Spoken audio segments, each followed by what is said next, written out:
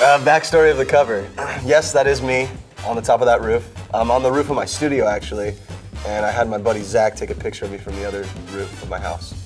And that is my backyard. That is my pool. Those are my chairs. It's not my car that's drawn into the pool. That was what I was looking at the whole time that I was writing this album.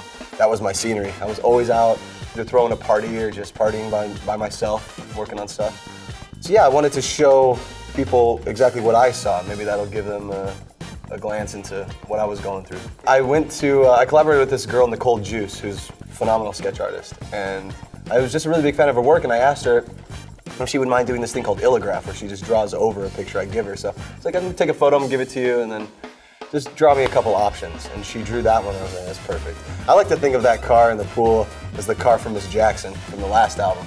Because it kind of looks the same. It's like that 71 Chevy, you know, that whole deal.